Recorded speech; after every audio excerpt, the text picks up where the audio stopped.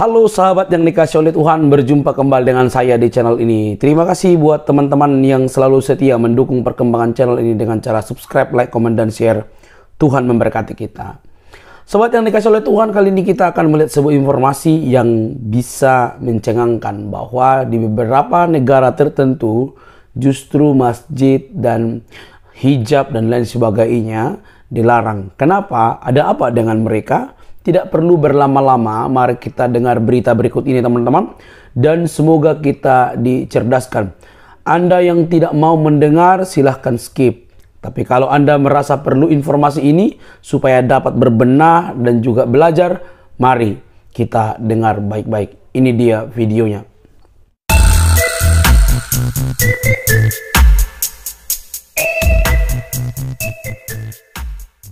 sebuah berita menarik dari Tajikistan, teman-teman.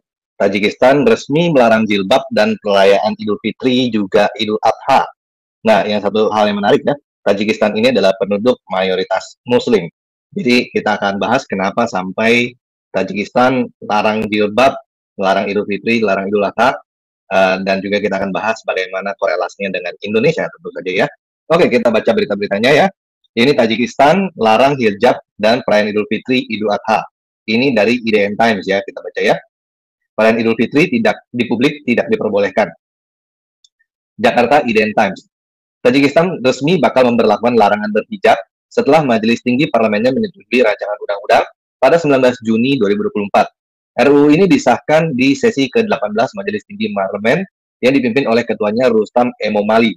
Dalam RUU ini tertuang adanya larangan hijab yang disebut sebagai pakaian asing, pakaian alien ini teman-teman ya atau tradisional dan anak-anak dilarang merayakan Idul Fitri dan Idul Adha. Sebelumnya ada festival yang memperingati hari dua hari raya besar Muslim ini yang disebut Id Gardak, Id Gardak, di mana anak-anak mengunjungi rumah-rumah di kota untuk memberi salam. Pelanggar akan didenda. Wow. Dilansir dari MIN, Jumat tanggal 21 bulan 2024, negara di Asia Tengah ini juga bakal menjatuhkan hukuman bagi warga yang melanggar hampir 8.000 somoni atau setara 12,3 juta. Wow, kalau melanggar dendanya lumayan besar, ya, teman-teman, 12 juta ya. Sementara pejabat pemerintah atau otoritas agama yang melanggar bakal dikenakan denda masing-masing sebesar 54.000 somoni atau setara 84 juta. Wow, jika terbukti bersalah. Wow, pakai jilbab malah kena dendanya gede, lumayan. Yang kedua, Tajikistan selama ini melarang penggunaan hijab. Kita baca ini ya, artikelnya ya. Sebelum disahkan parlemen, larangan hijab ini memang sudah disahkan oleh negara yang berbatasan dengan Afghanistan tersebut. Namun secara tidak resmi. Ini ya, cantik-cantik ya, nggak pakai jilbab ya. Tajikistan juga melarang warganya yang laki-laki untuk memelihara janggut tebal. Hmm. Oke. Okay. Pada tahun 2017 lalu bakal tahun 2017 lalu bahkan Kementerian Pendidikan Tajikistan melarang pakaian khas Islam seperti abaya atau rok mini gaya barat bagi siswa sekolah dan memperluas larangan ini ke semua institusi. Tajikistan juga melakukan penggerebekan di jalan-jalan ketika terlihat ada perempuan yang memakai hijab dan sebaliknya mereka diminta untuk memakai pakaian khas Tajikistan. Yang ketiga, melarang segala penjualan pakaian yang dianggap asing, dianggap alien. Selain itu, parlemen nantinya juga akan mengesahkan larangan penjual pakaian yang dianggap asing bagi budaya Tajikistan. Menanggapi ulah pemerintah ini, warga Tajikistan melayangkan protes. Mereka menegaskan seharusnya rakyat warga bisa diberi kebebasan untuk berpakaian. Ya, menurut teman-teman gimana ya kebebasan berpakaian ini? Oke, ini dari CNN Indonesia ya. Tajikistan pernah gusur hampir 2000 masjid, ubah jadi bioskop dan kafe. Ini kemungkinan baca ini banyak yang kejang-kejang nih teman-teman ya. Banyak yang, oh terus itu gereja banyak dirubah jadi ini itu. Ini Tajikistan nih, 2000 masjid Jit dirubah jadi bioskop dan kafe ya. Tajikistan menjadi sorotan setelah pengesahan rancangan undang-undang melarang penggunaan hijab pada pekan lalu. Nah, dengan aturan ini, Tajikistan semakin memperluas larangan penggunaan hijab yang semula ditujukan di sekolah dan tempat kerja menjadi ke tempat publik. Padahal menurut sensus 2020, 96% dari total sekitar 10,3 juta warga Tajikistan merupakan muslim. 96% loh, muslim. Tapi melarang jilbab. Ini sesuatu yang sangat menarik. Ternyata larangan penggunaan hijab merupakan aturan anti-muslim terbaru yang selama ini telah diterapkan pemerintah sekuler pemerintah Presiden Emomali Rahmon. Selama hampir selama hampir tiga dekade berkuasa, Presiden Rahmon memang berupaya menjadikan Tajikistan negara sekuler dan menjauhi nilai-nilai religius, terutama nilai Islam, dari kehidupan sosial dan politik. Presiden Rahmon disebut ingin mempromosikan versi Islam monolitik dengan praktek agama yang dikontrol negara. Tajikistan bahkan pernah menutup paksa hampir 2000 masjid di negara mayoritas penduduk muslim itu pada tahun 2017. Tajikistan menutup 1938 masjid tersebut selama setahun dan menggantinya dengan kafe, bioskop, kedai teh, sampai pusat medis seperti klinik. Hmm. 1838, 1938 ya. Wow. Menurut laporan media Badan PBB Pengungsi UNHCR, World, pemerintah Tajikistan mengklaim penutupan ribuan masjid ini dilakukan pun atas permintaan warga setempat. Namun, sejumlah pihak oposisi menilai penutupan ribuan masjid ini dilakukan karena pemerintah menilai masjid-masjid itu tidak sesuai dengan pandangan negara. Aktivis HAM Faiziniso Fokidova mencatat pemerintah mengklaim masjid-masjid itu dibangun secara ilegal. Namun, menurutnya klaim-klaim itu tidak sepenuhnya dapat dipercaya. Fokidova juga menemukan kejanggalan lain, seperti banyak masjid-masjid yang digusur itu menolak melayangkan keluhan atau protes ke pemerintah. Bahkan mereka menolak tawaran sejumlah kelompok HAM dan advokat yang menawarkan bantuan hukum untuk membawa kasus penutupan paksa ini ke pengadilan. Jadi nggak ada yang mau ngelapor ya. Ini dianggap aneh malah sama kelompok HAM. Kok nggak ada yang mau ngelapor? Mereka takut melakukan hal tersebut. Ucap Fokidova seperti dikutip dari laporan UNHCR Report pada Maret 2018 lalu. Sebagai contoh, pejabat mengklaim penutupan masjid-masjid di wilayah Seoul Utara, Iswara, dan distrik Bobojon Gufurov dikarenakan permintaan warga setempat. Dalam kedua kasus tersebut, pejabat terkait juga tidak dapat menjelaskan kepada Forum 18 Revolt mengapa mereka hanya mengizinkan sejumlah masjid berdiri dengan kapasitas jauh di bawah jumlah jemaah sekitarnya. Ironisnya di saat bersamaan, Tajikistan pun juga membangun masjid pusat di kota Dushanbe. Masjid itu diklaim menjadi yang terbesar di Asia Tenggara, di Asia Tengah yang mampu menampung sekitar 120 ribu jemaah sekaligus. Dikutip dari diplomat, masjid ini dibuka 2019 setelah dibangun 8 tahun dengan budget sekitar 100 juta dolar Amerika Serikat. Sebagian besar biaya konstruksi kabarnya dibantu oleh Qatar. Masjid-masjid pusat besar yang dibangun pemerintah dikelola oleh pengurus dan imam yang ditunjuk dan digaji oleh negara. Pemerintah juga disebut mendikte atau menyetujui isi khotbah dan ceramah-ceramah di masjid yang sering kali menyertakan pujian-pujian eksplisit terhadap rejim Rahmon. Pesan yang ingin disampaikan jelas, satu-satunya bentuk Islam yang dapat diterima adalah Islam yang resmi, yang sangat tersentralisasi dan nasionalistis. Bunyi kolom opini Wakil Presiden Komisi Kebebasan Beragama Internasional Amerika Serikat USCIR, Tony Perkins, Tony Perkins yang dirilis dari diplomat pada Juni 2021 lalu. Wow, hampir 2000 masjid teman-teman dirubah jadi kafe, bioskop, dan lain-lainnya yang lebih bermanfaat ya. Oke, kita baca dari CNBC Indonesia. Alasan negara mayoritas Islam Tajikistan larang warga pakai jilbab. Kenapa ya? Aneh ya. Cukup aneh sebenarnya. Tajikistan adalah negara dengan mayoritas Muslim. Namun, Majelis Tinggi Parlemen itu telah meloloskan undang-undang kontroversial. Di bawah kepemimpinan ketuanya Rustam Emomali pekan lalu, negara itu resmi meloloskan undang-undang yang melarang pakaian asing. Tajikistan menargetkan jilbab dan pakaian tradisional Islam lainnya yang masuk ke Tajikistan dari Timur Tengah mereka mereka mereka yang melanggar undang-undang itu akan didenda mulai dari 7.920 somoni. Tajikistan hampir 12,1 juta. Atau untuk warga biasa, warga negara biasa. Hingga 24 54.000 somoni. Atau 82,9 juta untuk pejabat pemerintah. Khusus tokoh agama, mereka bisa dikenakan denda 57 57.600 somoni. Atau sekitar 88,4 juta. Wow, perayaan dua hari besar agama Islam, Idul Fitri dan Idul Adha, untuk anak-anak juga dilarang. Undang-undang ini disahkan pada awal bulan ini. Tajikistan sebelumnya memiliki tradisi is i Idgardak, mungkin ya, ini baca bacanya ya, sorry kalau salah, di mana anak-anak mendatangi rumah ke rumah untuk mengumpulkan uang saku pada hari raya Idul Fitri. Apa yang terjadi? Alasan Tajikistan. Keputusan ini dianggap mengejutkan. Menurut sensus 2020, negara Asia Tengah berpenduduk 10 juta jiwa itu memiliki 96% beragama Islam. Pemerintah berdalih langkah ini disebut berguna untuk melindungi nilai-nilai budaya nasional. dan mencegah tahayul dan ekstremisme. Khusus jilbab misalnya, warga dilarang mengimpor, menjual, mengenakan, dan mengiklankan jilbab, serta didorong untuk mengenakan pakaian tradisional Tajikistan. Meski begitu, larangan jilbab di Tajikistan dipandang sebagai cerminan garis politik yang ditempuh pemerintah Presiden seumur hidup Emomali Rahmon yang berkuasa sejak 1997. Mengutip Euronews, awalnya ini menjadi salah satu cara untuk menyingkirkan oposisi Partai Kebangkitan Islam Tajikistan, TIRP. Dalam sejarahnya, setelah kesepakatan damai untuk mengakhiri perang saudara selama lima tahun terjadi tahun 1997, Rahmon yang berkuasa sejak tahun 1994 berdamai dengan TIRP. Di perjanjian lama itu, TIRP yang pro syariah seharusnya berkuasa 30% di pemerintah. Tetapi secara perlahan Rahman menyingkirkannya hingga 2015 menutup TIRP sepenuhnya dan menunjuknya sebagai organisasi teroris. Cap organisasi teroris disampaikan setelah partai tersebut dicap hendak mengambil bagian dalam upaya kudeta pemerintah yang gagal.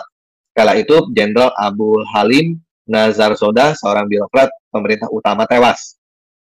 Sebenarnya jilbab dilarang sejak tahun 2009. Tutup kepala itu tidak boleh dikenakan di lembaga publik, termasuk universitas dan gedung pemerintah.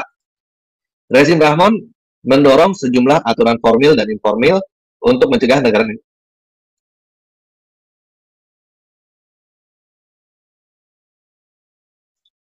Rejim Rahman mendorong sejumlah aturan formil dan informil untuk mencegah negara-negara tetangga memberikan pengaruh. Di sisi lain, dia memperkuat kendalinya atas negara tersebut. Jenggot masjid juga kena. Hmm. Meskipun tidak ada batasan hukum terhadap jenggot di Tajikistan, beberapa laporan menyatakan bahwa penegak hukum telah mencukur paksa pria yang, yang berjenggot tebal, lebat. Mereka dianggap sebagai tanda potensial pandangan agama ekstremis seseorang. makin tebal jenggotnya, makin ekstrim seseorang ya. Undang-undang tentang tanggung jawab orang tua yang berlaku pada tahun 2011 menghukum orang tua yang menyekolahkan anak-anak mereka ke pendidikan agama di luar negeri. Sementara menurut undang-undang yang sama, mereka yang berusia di bawah 18 tahun dilarang memasuki tempat ibadah termasuk masjid tanpa izin. Wow. Sebuah pernyataan tahun 2017 oleh Komite Urusan Agama Tajikistan mengatakan bahwa 1938 masjid ditutup hanya dalam satu tahun. Tempat-tempat ibadah diubah menjadi kedai teh dan pusat medis. Serangkaian undang-undang tersebut, serangkaian undang-undang terbaru tersebut dikatakan didorong oleh sejumlah serangan mematikan di sejumlah negara tetangga dekat Tajikistan, Salah satunya Balai Kota Krokus di Moskow pada bulan April. Hmm, cerdas. Empat penyerang yang ditangkap oleh penegak hukum Rusia dikatakan berasal dari Khorasan, apa yang disebut negara Islam atau ISIS-K. Mereka semua memiliki paspor Tajikistan. Wow. Sementara itu, Presiden Rahmon mengklaim dirinya ingin menjadikan Tajikistan demokratis, berdaulat berdasarkan hukum dan sekuler. Pernyataan ini mengutip kalimat terbuka Konstitusi 2016 yang menasihati rakyat untuk mencintai Tuhan dengan hati mereka. Jangan lupa budaya Anda sendiri. Sementara hal serupa tidak hanya di Tajikistan, Prancis, Denmark, Belgia, Sri Lanka, Bulgaria, China, India, Jerman, dan Turki menjadi beberapa negara yang telah melarang jilbab dalam beberapa bentuk. Ya, Tajikistan ini sepertinya negara muslim pertama ya yang melarang jilbab. Oke, ini dari CNBC Indonesia ya. Ini dari organizer of di situs luar negeri ya, teman-teman ya. Oke, ini dulu deh. Yang dari Indonesia dulu, CNN Indonesia.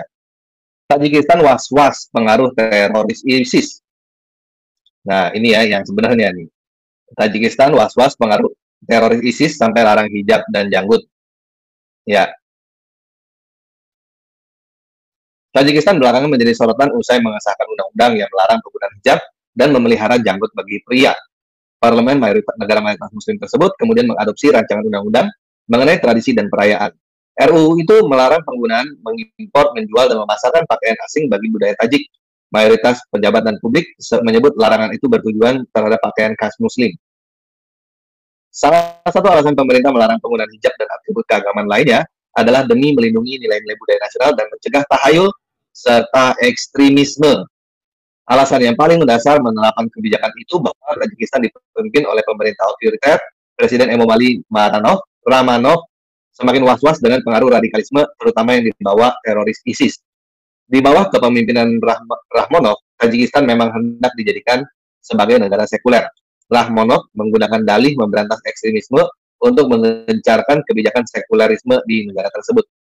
Beberapa kebijakan itu misalnya memaksa warganya mencukur jenggot, membatasi usia orang yang masuk masjid, melarang penggunaan hijab, hingga menutup masjid besar-besaran. Langkah ini diambil oleh karena rezim Tajikistan ingin melanggengkan otoritar, otorit, otoritarianisme ini juga menghalangi rakyat Tajikistan kembali kepada syariat Islam yang dianggap radikal oleh pemerintah. Gencar menupas ekstremisme. Sejak runtuhnya Uni Soviet, gerakan-gerakan Islam merajalela di Tajikistan. Gerakan-gerakan ini umumnya bertujuan membangun khilafah Islamiyah di Asia Tenggara. Kondisi ini pun satu persatu dicegah dan diberantas oleh rejim Tajikistan yang condong ke dengan Barat. Nanti berikut, upaya represi semacam ini justru mendorong peningkatan ekstremisme di negara tersebut. Pada tahun 2021, setelah Taliban mengambil alih Afghanistan, gelombang ekstremis menyapu Tajikistan. Tajikistan berbagi perbatasan dengan Afghanistan sepanjang 1.356 km. Menurut pemerintah Tajikistan, Afghanistan Utara merupakan sumber utama aktivitas teroris. Wilayah itu disebut menampung ribuan ekstremis. Lanjut. Khawatir utama, kekhawatiran utama Tajikistan ini mengacu pada ISIS-K dan jamaah Ansarullah yang beroperasi di Afghanistan. Dilansir dari CNN, ISIS-K dipimpin oleh warga Tajik yang baru-baru ini melakukan serangkaian serangan di Eropa, termasuk serangan Crocus Hall di Moskow pada Maret lalu yang menewaskan lebih dari 100 orang. ISIS-K sangat sulit diberantas lantaran ada kesenjangan dalam informasi intelijen yang selama ini dikumpulkan Amerika Serikat. Tidak seperti Al-Qaeda yang melatih dan mengerahkan para anggota seperti dalam serangan 1911, ISKA berfokus pada radikalisasi populasi rentan. Tajikistan merupakan salah satu negara termiskin di dunia, di mana penduduknya juga menghadapi penindasan agama yang ekstrim. Ahli terorisme percaya, kedua faktor ini menyebabkan penduduk Tajikistan radikal, rentan terhadap radikalisme teroris. Dikutip dari The Guardian, laporan intelijen pemerintah Persekutuan Bangsa-Bangsa atau PBB, pada Maret lalu menunjukkan bahwa ISIS merekrut militan dari jemaah Ansarullah selama 12 bulan terakhir. Kelompok ini mengincar warga Tajik dan negara-negara Asia Tengah rentan lainnya melalui propaganda yang disiarkan di media sosial. Selama beberapa tahun terakhir, warga Tajik dilaporkan terlibat dalam beberapa plot terorisme di Eropa dan Turki. Pada Januari, dua militan ISIS menyerang sebuah gereja di Istanbul untuk mene yang menewaskan satu orang dan menyelukai sejumlah orang lain. Kelompok itu juga bertanggung jawab atas serangan di Bandara Internasional Kabul pada tahun 2021 yang menewaskan 13 tentara Amerika Serikat dan lebih dari 150 warga sipil. Dilansir dari situs Kementerian Luar Negeri Amerika Serikat sejak 2021, pemerintah Tajikistan akhirnya mengintensifkan upaya kontra terorisme. Pada tahun 2022, Amerika Serikat pun membantu negara itu untuk merenovasi dan membangun pos-pos perbatasan dan pos pemeriksaan di sepanjang perbatasan Tajikistan-Afghanistan. Amerika Serikat juga menyediakan peralatan dan pelatihan untuk meningkatkan keamanan perbatasan dan kemampuan te kontra terorisme Tajikistan. Ya, jadi ini dalam rangka uh, memerangi teroris ya, teman-teman. Larang jilbab, potong jenggot, mungkin ya celana cingkrang itu juga ya, sepertinya bakal di ban juga tuh ya. Ya, ini dari luar negeri, kemungkinan besar kurang lebih isinya sama ya, dari kita sudah baca. Oke, ini reaksi dari CAIR. Cair ini Dewan Hubungan Amerika Serikat. Ini dari Muslim ya. Cair mengecam larangan hijab dan pakaian Islami di Tajikistan. Cair ini artinya Dewan Hubungan Amerika Islam. Organisasi advokasi dan hak-hak sipil Muslim terbesar di negara itu, maksud di Amerika, hari ini mengutuk pengesahan undang-undang di Tajikistan yang melarang jilbab atau pakaian Islam lainnya. RUU ini bertujuan untuk membatasi penggunaan apa yang disebut pakaian asing, alien cloth, Target utamanya adalah jilbab dan pakaian islami lainnya. Mungkin cingkrang juga ya.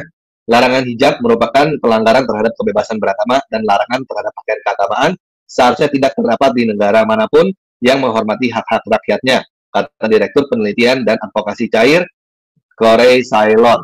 Kami mengutuk undang-undang kejam yang represif ini dan mendesak pemerintah Tajikistan untuk membatalkan keputusan ini. Ya, yang seperti ini memang mereka ya saya nak jidat ya, mereka kalau misalnya ada yang melarang jilbab, mereka bilang itu, oh itu tidak menghormati HAM, melanggar HAM. Tapi daerah-daerah tertentu yang memaksa orang untuk menggunakan jilbab, mereka nggak ngomong apa-apa tuh. Diam-diam aja tuh, ada kok di Indonesia aja, ada kok daerah-daerah yang khusus uh, maksa ya untuk menggunakan jilbab dan pakaian-pakaian Islam. Bahkan orang-orang non-muslim pun dipaksa loh dipakai pakaian-pakaian Islam ya, ada di Indonesia juga. Jangan kan di luar negeri, di Indonesia aja ada ya. Kok diam-diam aja ya? Emang kayak gini kadang-kadang ada ada munafik ya teman-teman ya. Mereka cuman ya memanfaatkan uh, hak asasi manusia untuk kepentingan mereka sendiri. Oke, ini dari uh, Detik Hikmah, profil Tajikistan ya. Negara mayoritas Muslim, Tajikistan baru ini melarang warganya menggunakan jilbab dan merayakan Hari Besar Islam. Berikut profil negara Tajikistan dan penjelasan lebih lanjut mengenai larangan tersebut. Menurut catatan Ensiklopedia Britannica, Tajikistan merupakan negara yang terletak di Asia Tenggara. Negara ini memiliki pantai karena berbatasan langsung dengan Kirgistan Utara, Cina di timur, Afghanistan di selatan, serta Uzbekistan di barat dan barat laut. Ibu kota Tajikistan adalah Dushanbe. Sebelumnya, Tajikistan merupakan negara konstituen Uni Soviet dari 1929 hingga mencapai kemerdekaannya 1991. Kendati memiliki wilayah terkecil di antara lima negara bagian Asia Tengah, Tajikistan memiliki elevasi tertinggi karena mayoritas wilayah Tajikistan merupakan pegunungan. Setengah dari pegunungan tersebut terletaknya 3.000 meter di atas permukaan laut. Penduduk Tajikistan terdiri dari berbagai etnis, akan tetapi mayoritas penduduknya merupakan etnis Tajik. Bahasa resmi yang digunakan penduduk Tajikistan adalah bahasa Tajik. Dari segi ekonomi, penduduk Tajikistan sangat bergantung pada sektor pertanian dan jasa. Kapas menjadi komoditi yang paling unggul di Tajikistan Subsektor penting lainnya di antaranya peternakan yang mencakup sapi bertanduk panjang, domba gisar, dan kambing. Budidaya buah-buahan, biji-bijian, sayuran juga berperan besar terhadap perekonomian Tajikistan. Menurut data Asosiasi Arsip Data Agama, kata The Association of Religion Data Archive, Archives, ARDA, Tajikistan merupakan negara yang memiliki luas 55.300 mil persegi dan penduduknya lebih dari 7 juta jiwa. Diperkirakan 97% warga Tajikistan mengidentifikasi diri mereka sebagai Muslim. Larangan hijab dan merayakan hari besar Islam yang dikenakan kepada warga Tajik tentunya menjadi hal yang memprihatinkan ya bagi umat Muslim. Tajikistan sahkan undang-undang pakaian Islami dan hari raya. Pekan lalu, Presiden Tajikistan menaikkan undang-undang yang melarang warga mengenakan pakaian berhijab dan pakaian tradisional Islam lainnya. Undang-undang ini juga melarang anak-anak merayakan dua hari besar Islam, yakni Idul Fitri dan Idul Adha. Laporan media independen Tajikistan Asia Plus akhir pekan lalu. Majelisi Namoyang Dagon, Majelis Rendah Parlemen Tajikistan, sebelumnya menyetujui, menyetujui rancangan undang-undang terkait pakaian tradisional, khususnya hijab atau kerudung Islam pada 8 Juni lalu. Tindakan keras Tajikistan terhadap jilbab bukan hal yang baru. Peraturan yang tidak resmi halnya telah berlaku sejak 2007. Berkaitan dengan perayaan Hari Besar Islam, Presiden Tajikistan menjelaskan melalui situs resmi bahwa aturan baru ini bertujuan melindungi nilai-nilai asli budaya nasional, dan mencegah tahayul dan prasangka, serta mencegah pemborosan dalam mengadakan perayaan dan upacara. Hmm, pemborosan, bagus. Selain itu, peraturan tersebut juga bertujuan meningkatkan spiritualitas dan tingkat sosial ekonomi masyarakat Tajikistan, serta perlindungan hak dan kebebasan anak, belajar dan pembelajaran, pendidikan anak dalam semangat kemanusiaan, kebanggaan patriotisme, penghormatan terhadap nilai-nilai nasional dan universal. Terakhir dijelaskan bahwa undang-undang tersebut bertujuan memastikan pembangunan sosial ekonomi negara, meningkatkan taraf kualitas hidup rakyat, memperkuat stabilitas masyarakat, hukum, dan ketertiban. Ya, ini intinya ingin memperkuat negaranya ya dengan hal-hal yang modern dan sekuler. Sedangkan tadi ya kita lihat ya Islam langsung kejang-kejang yang bukan negaranya yang kejang-kejang Pak ya. Ini Tajikistan ya kalau teman-teman bingung Tajikistan di mana, ini lokasinya Tajikistan ya. Ini di Asia Tengah, di sini China, di bawahnya ini adalah Afghanistan, tadi di atas ini ada Rusia, ada negara-negara lain. Ya. Ini Tajikistan yang warna hijau. Ya, ini bekas negara Uni Soviet ya. Oke, sekarang saya mau Baik teman-teman yang dikasih oleh Tuhan, kita sudah mendengarkan berita tersebut luar biasa. Ada apa dengan Islam di beberapa negara lain yang berkaitan dengan Islam secara agama di sana teman-teman? Dari penjelasan yang barusan kita dengarkan selalu ada uh, problem-problem uh, yang dihadapi oleh beberapa negara yang di dalamnya ada agama-agama yang sedang dianut. Nah, alasan-alasan yang dibuat itu menurut mereka adalah alasan yang cocok untuk negara mereka, bukan untuk Indonesia, ya. Nah, teman-teman, kenapa hal itu bisa terjadi? Ya karena mungkin ada sesuatu hal yang kurang tepat ya kurang tepat sehingga dilarang atau bahkan malah ditutup sebanyak itu gitu ya. Saya tidak tahu apa yang menjadi pokok masalahnya, tapi dari berita itu kita bisa melihat dengan jelas uh, bahwa ada satu keadaan yang mengharuskan mereka menutup dan melarang ya, melarang hal-hal itu dilakukan khususnya untuk uh, keyakinan agama Islam ya. Jangan jangan jangan panas jangan marah gitu ya karena itu merupakan di negara lainnya gitu ya. Ya negara-negara lain pun sudah uh, semakin sekuler teman-teman. Misalnya Arab Saudi sudah semakin sekuler kan? Arab Saudi yang notabene itu negara Islam yang dulu itu menekankan hijab dan lain sebagainya justru saat ini lebih bebas kalau di sana dulu beritanya perempuan tidak bisa menyetir mobil, sekarang sudah bisa dan lain sebagainya. Entah uh, itu sebuah kemajuan, ya. Nah, kalau di negara-negara Islam itu sudah menunjukkan tidak perlu lagi misalnya menekankan satu identitas agama ditekankan dalam satu negara, bahkan diberi ruang untuk keberagaman begitu ya. Bagaimana dengan Indonesia gitu ya? Aduh, di Indonesia mungkin lebih mabuk agama guys ya. Mungkin lebih mabuk agama gitu ya bahwa ada orang-orang yang mempertontonkan bahwa agamanya lah yang paling benar di muka bumi ini dan orang lain yang beribadah bisa dipersekusi, bisa dilarang, bisa di uh, dibubarin begitu ya. Bahkan yang baru-baru ini yang terjadi kan kita bisa lihat ya. Nah, teman-teman hal ini sangat disayangkan gitu ya. Sangat-sangat disayangkan begitu. Di negara yang dihuni oleh beragam etnis, beragam agama justru didapati orang-orang, oknum-oknum tertentu yang masih yang paling merasa, paling merasa ya ini berat nih, yang paling merasa punya agama yang lebih baik begitu ya dibandingkan agama lain gitu. Yang lain nggak boleh beribadah, tapi saat yang sama kita lihat selalu penutupan jalan untuk uh, melaksanakan ibadah gitu ya. Aduh kasihan. Nah, bagaimana dengan berita tersebut yang tadi itu? Ingat, ingat teman-teman. Semua itu mereka lakukan karena ada pertimbangan-pertimbangan mereka. Kalau harus mereka menutup masjid, menutup bahkan me, uh, melarang hijab, melarang uh, dan lain sebagainya yang berkaitan dengan agama Islam itu urusan mereka bukan urusan kita. Tetapi dari berita ini kita dapat belajar ya, belajar ya.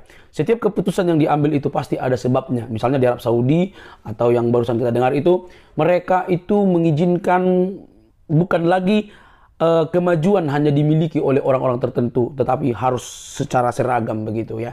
Itu luar biasa teman-teman ya. Nah, saat semua itu berlangsung, tidak ada unsur apa pun di dalam video ini selain daripada menginformasikan kepada teman-teman bahwa bahwa di daerah-daerah itu pun ada orang yang sudah melakukan aksi sedemikian rupa sampai menutup rumah ibadat, uh, masjid dan lain sebagainya. Ada apa? Mari kita terus lihat informasi-informasi selanjutnya bahwa uh, kalau ada uh, kemunduran yang disebabkan oleh agama tertentu, maka lebih baik, lebih baik itu semua berlahan-lahan diperbaharui, diperbaiki, ditata lebih bagus begitu ya. Karena agama sesungguhnya menata kehidupan ini, menata keberagaman, menata antar umat beragama. Jangan kau ngaku beragama tapi di saat yang sama kau merugikan orang lain. Negaramu nggak maju, orang-orang di sekitarmu malah ketakutan. Jangan sampai orang beragama demikian. Saya berharap di Indonesia secara khusus semakin terjalin kerukunan antar umat beragama walaupun berbeda cara ibadah, berbeda rumah ibadat, berbeda Tuhan, berbeda Allah dan lain sebagainya, tetap rukun satu dengan yang lain. Karena toleransi itu hanya dapat terjadi ketika kita memberikan kebebasan kepada keperbedaan. Oke teman-teman, kiranya kasih Kristus yang selalu memberkati kita. Tuhan memberkati. Jangan lupa untuk mendukung dengan cara subscribe, like, comment, dan share. Sampai ketemu di video selanjutnya. Bye-bye.